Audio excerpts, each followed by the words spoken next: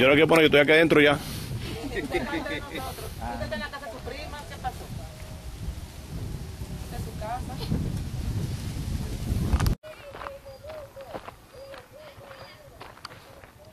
Aquí, aquí estamos en el camino de Matencio, temprano de la mañana, 3 de la mañana, efectivo de Central Romana, en esta importante comunidad.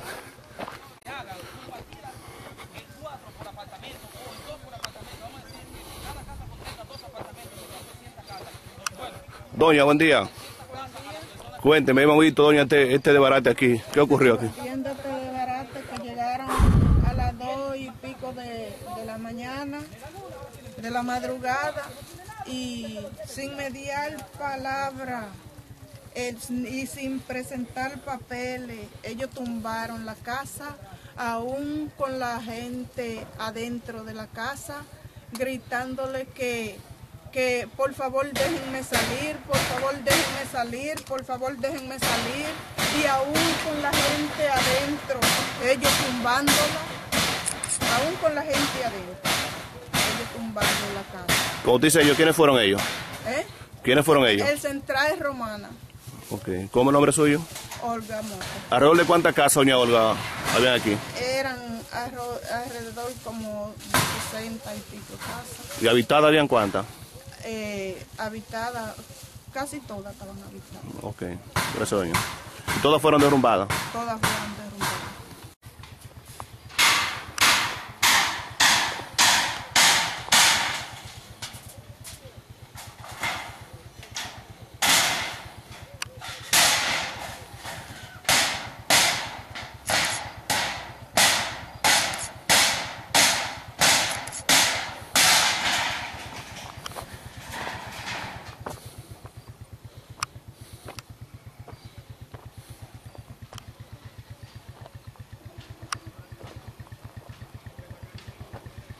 Hermano, jamás pensábamos que esto iba a ocurrir en el día de hoy. Nosotros, nosotros sí lo pensamos porque directamente usted sabe que esta gente hace lo que le da la gana, usted sabe que esta gente no se no cumple ninguna leyes, como todo aquí en Santo Domingo, que no se no, nada se rige por, por la ley, sino que todo es manga por hombro. El gobierno manga por hombro. Los los eh, los que tienen que ver aquí, las autoridades del Ceibo, mangan por hombro. Ninguno tiene que ver con nada. Es como yo le decía a Luis Chala, Nosotros nos reunimos con el síndico y el síndico se desligó de esto y nosotros nos sentimos contentos con que él se haya desligado con esto. Ahora, nosotros tenemos una queja. ¿Por qué si usted se desligó de esto? Usted no tiene que ver con esto. Nosotros aceptamos eso porque eh, eh, el síndico es un ser humano y seguro tiene sus derechos digo, no igual que nosotros, nosotros no tenemos derechos directamente. Nosotros tenemos que regirnos por los derechos de ellos, que son los que tienen derechos. El Central Romana, el gobierno en sí y las autoridades de, de- de- nuestras provincias, ya sea cualquier provincia de nosotros. Ahora, la del Ceibo es una provincia muy triste, porque la, la provincia del Ceibo no tiene, no tiene autoridades. Las, las autoridades del Ceibo no tienen agallas. Yo lo voy a decir claro, ya que nosotros somos dominicanos. Las autoridades de Ceibo no tienen coco. No tienen una cosa que le llaman coco, una vaina que guinda, que no es de arriba de la mata esa, no, sino una vaina que guinda, no tienen coco. Son gente que no tienen ni siquiera disciplina, son gente que visten bien, pero ni siquiera saben qué le pertenece. Yo estoy seguro, yo estoy casi al 100% seguro que las autoridades del Ceibo no tienen, no, tienen, no tienen la más mínima idea qué le pertenece a ellos, qué ellos tienen que hacer, qué tienen que ejecutar. Esa gente solamente están ahí porque el pueblo, usted sabe que en el país de los ciegos, el tuerto es el rey, nosotros somos los ciegos y ellos son los tuertos, pero eso no quiere decir que ellos tengan más educación, eh, perdón, que ellos tengan más educación que nosotros los que estamos aquí, ni que tengan más derechos tampoco. Ellos tienen derecho porque, como yo les decía, el derecho aquí es el gobierno, el Central Romana y las autoridades de cualquier provincia que pueda ser, sea del Ceibo, sea de San Pedro de Macorís, sea de, Santo Domingo, sea de Higüey. Ahora, en otras provincias la gente tiene un poquito más de agalla. ¿Alrededor de cuántas viviendas habían habitado aquí, hermano? Ya nosotros éramos aquí alrededor de 26 vi- viviendas habitadas, ya nosotros te ves. Veo sin nuevo, Ah, sin nuevecito también Sí, comparado ya sin- nosotros, ya nosotros vivíamos ahí. Ya nosotros, cuando esta gente llegaron y tumbaron todo, hicieron lo que les dio la voluntad, casi mente nos la tiran encima. Nosotros estábamos ahí acostados. estábamos descansando ahí, ya nosotros creíamos que esto era de nosotros, porque nosotros, como le dije a Luis Chala, nosotros hicimos averiguaciones de que esto no pertenece a Central Romana ni pertenece a ninguna otra persona. Entonces, ¿A qué hora ocurrió esto, hermano? esto ocurrió a las dos y media de la madrugada. Sin ningún derecho, sin ningún, sin ningún preaviso, sin ninguna carta, sin ninguna consideración, sin, ningún, sin ninguna prueba de que esto le pertenece. Traigan papeles. Traigan papeles. Mire, esto es mío, esto me pertenece. Si esto me pertenece, bueno, yo no tengo nada, pero mi papá tiene, tiene, tiene una tierrita donde yo viví. Yo no quiero coger para allá porque yo quiero ser independiente. Yo soy una persona pensante. Posiblemente más pensante que esa autoridad del Seibo. Porque si yo fuera la persona que estuviera ahí en esos cargos, yo eso come mierda lo mandara a la mierda. Lo mandara, porque yo, aunque, aunque de allá de Santo Domingo me revocaran una ley que yo dictara, aunque me la revocara, yo volviera y la mandara, y volviera y la mandara, y volviera y la mandara, y siquiera hasta que me hicieran caso. O le hiciera internacional, pero algo yo hiciera. Pero eso no hace nada, porque posiblemente anoche esa gente estaban cenando con autoridades de Central Romana. Entonces, ¿qué derecho tenemos nosotros? Lo primero, lo primero es, lo primero es, amigos, autoridades del Seibo, lo primero es, cuando usted consigue un cargo, nunca acepte un celular que le mande Central Romana. Nunca acepte un, cel- un celular que le mande un periodista. Nunca acepte un celular que le mande, porque entonces usted está a usted lo están comprando y eso es lo que ha pasado. Las autoridades del Seibo, tanto, tanto las autoridades del Seibo como todas esas instituciones están compradas. ¿El nombre tuyo es? Leonardo, el avatar, me dicen.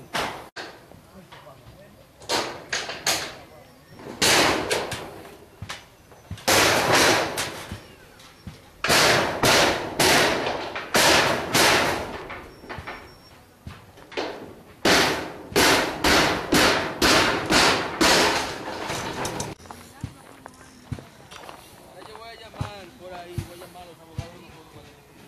Vamos a conversar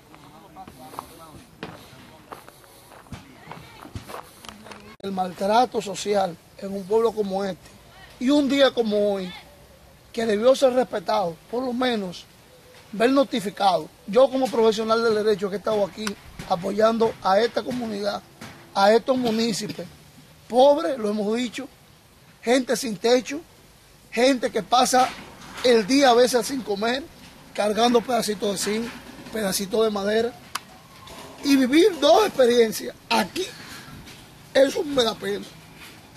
A mí me da pena. Un pueblo como este, con terrenos que se los roban los ricos, que no tienen título de propiedad, que maltratan al que menos puede, que utilizan al Central Romana sabiendo el Central Romana que no tiene nada que ver con este camino y se lo vamos a demostrar porque vamos a incoar una demanda en contra del Central Romana. Si el poder se impone, nosotros como conocimiento de justicia van a tener que decirnos quiénes son los propietarios de este daño y van a tener que pagarlo.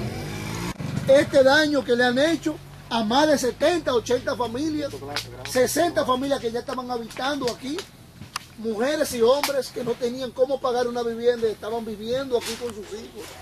Ver a esos niños y caerle el silo, palo arriba, arregoso a matar a un niño de eso, eso a mí me da vergüenza.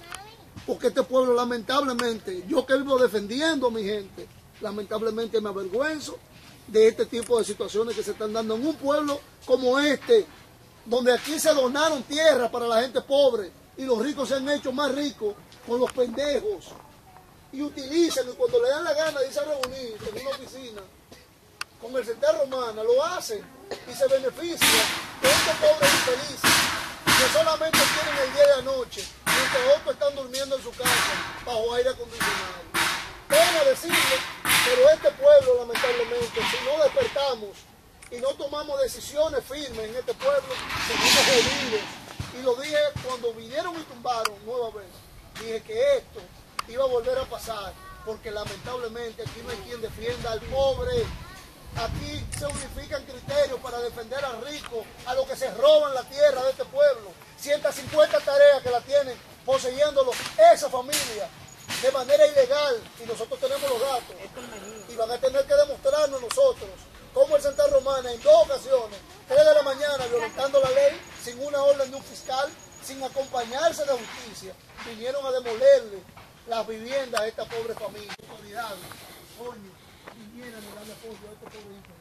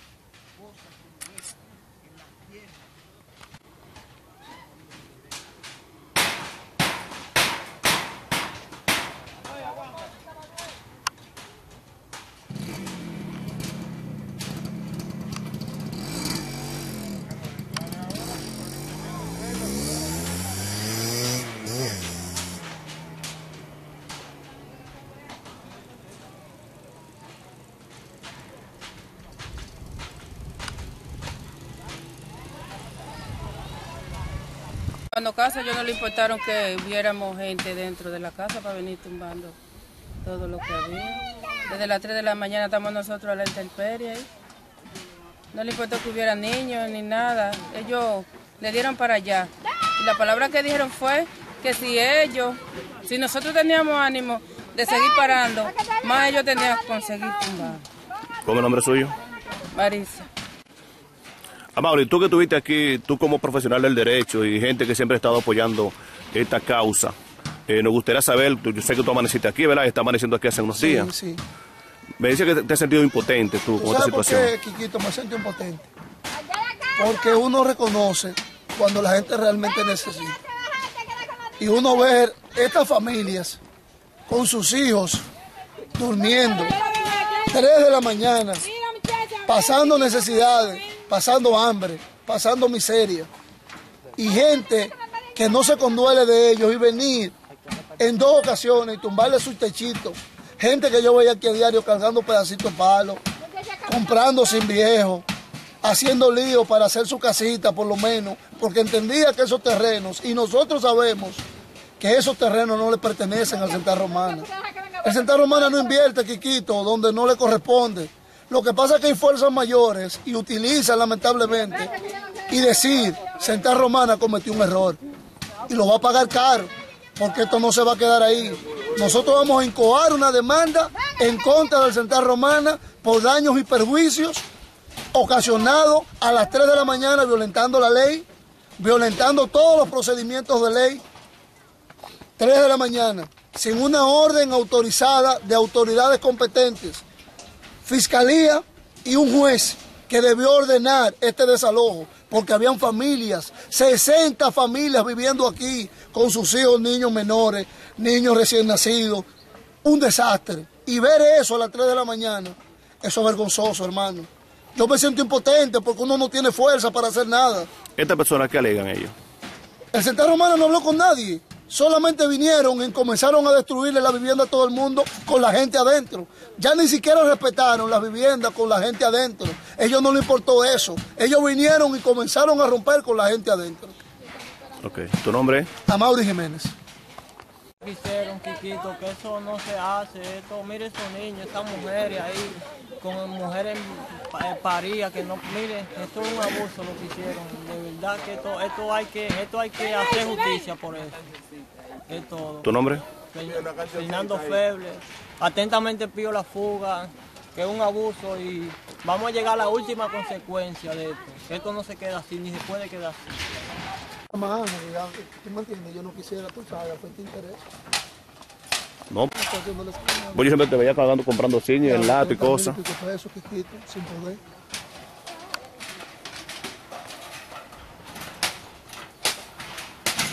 Recuerdo cuando vine aquí, usted tenía su casita muy bonita. Sí, mira toda la mata que yo tenía sembrada y todo en orden. Esa gente llegaron a las 3 de la mañana, en la misma hora que ellos siempre utilizan para hacer eso. No respetaron que ese señor, mira, la edad estaba acostado. Para ellos empezar así a tirarle todo encima. Como que esa gente no tiene madre, esa gente no nacieron de una madre, esa gente son sin madre. Yo te digo, yo tengo tantas cosas que decir que yo no sé ni qué decir porque yo lo que no quiero es faltarle a Dios. No quiero faltarle a Dios. Pero esa gente no tiene madre, esa gente son unos sin madre, así como tuve la cosa. Porque esa gente nunca en la vida podía haber cometido eso. ¿Tú sabes cómo andaban esa madre por ahí, para arriba y para abajo con esos niños a las 3 de la mañana, tapados, y esos niños así tiesos, durmiendo, gritando, llorando? Es un abuso lo que están cometiendo en Romana, porque si esto fuera de ellos está bien, pero ellos saben que esto no es de ellos. Y el tal esto el bienvenido ese, porque es el culpable de todo lo que está pasando aquí. Él es el culpable de todo lo que está pasando aquí. Pero él no va a pagar eso que él está haciendo aquí, ese desorden que él está haciendo, esa falta de respeto, él la va a pagar. Porque él es el culpable de todo. ¿Cómo nombre suyo? Mary Montero. Héctor, ¿por qué, ¿por qué se menciona a Héctor? Bueno, porque él es el que siempre tiene la cuica de que nos saquen de aquí. Era que no nos quiere aquí, porque Central no dijo a nosotros que él no- ellos no tenían problemas con nosotros, que ellos hacían lo que lo mandaran a hacer, que eso, eso- esto aquí no es de Central. Esto no es del Central. Él es el que tiene el problema con nosotros. Nosotros lo que hacemos es cuidarle lo de no sé, porque que nos dé la cara y que nos diga cuál es el problema que él tiene con nosotros. Que dé la cara. Él, él- él tiene lo limitado ahí. Él tiene por la justicia. Me tumbaron la casa, oye.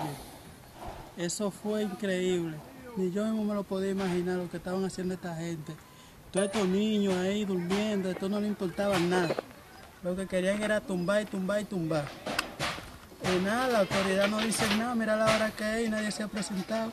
Usted, además, como de la prensa que ha venido por aquí, a darnos su apoyo como siempre. Pero después nadie dice nada. No hay síndico, no hay gobernador, no hay nadie aquí. ¿Cómo tu nombre? Daniel. Gracias, Daniel.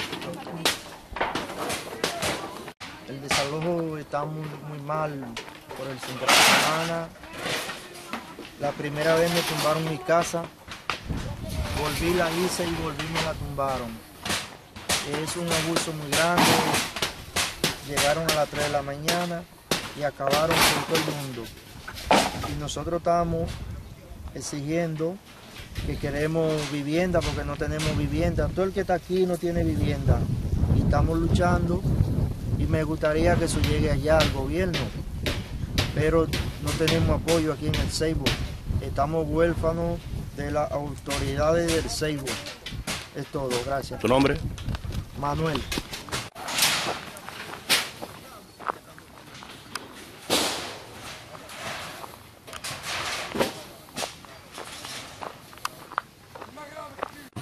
Bueno, hermano, yo viendo esto, lo que ha pasado, esto es un, esto es un abuso que están haciendo. Yo mismo fui amenazado por un moreno de ahí de cerca que me estuvo dando con la escopeta esta mañana, yo venía para acá. Me dijo que él me daba un tiro, que me mataba, si había que matarme. Yo no lo conozco bien, yo le estoy mirando la cara para que él, él me mate un, un. ¿Y tu vivienda qué pasó con tumbaron, mira cómo está todo desbaratado, mira. todo desbaratado. ¿Cómo es el nombre tuyo? Feliz, ¿A qué hora ocurrió esto, hermano? a las 3 de la mañana.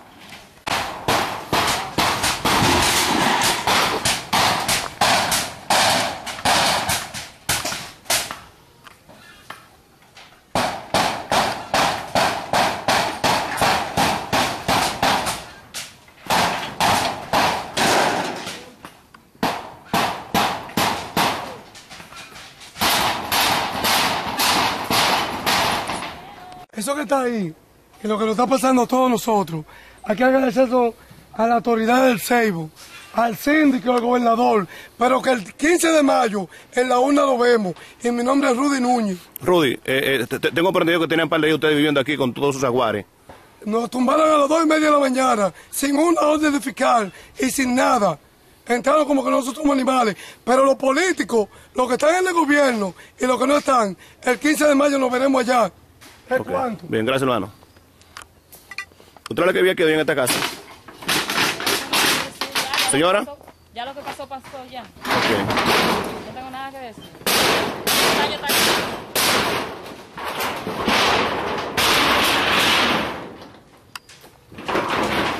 No le importaron si hubiera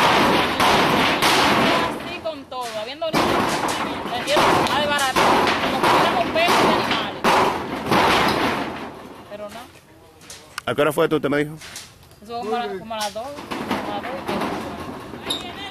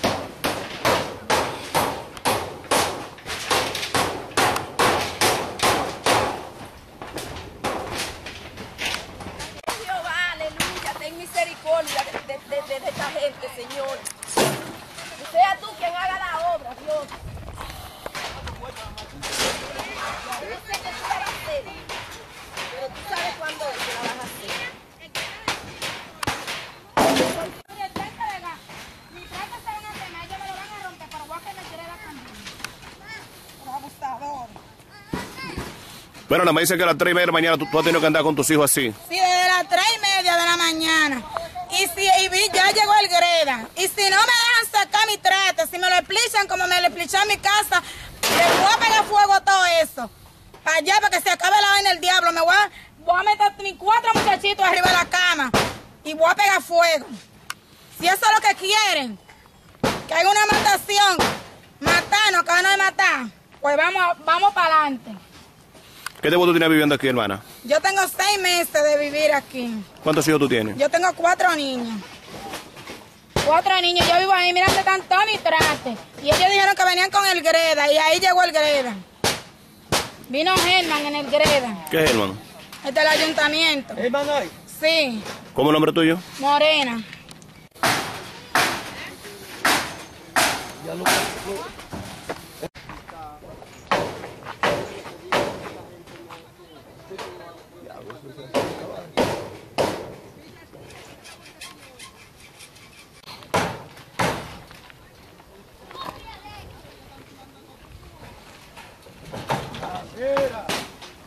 vino, vino Greda a terminar. A, a, a, a, termi- a terminar el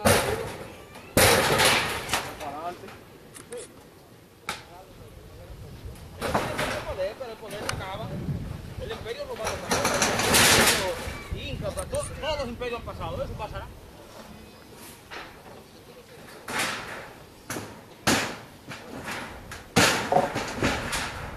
Todo en esta vida pasa. Nosotros los seres humanos lo que tenemos que hacer es lo que Dios nos mandó.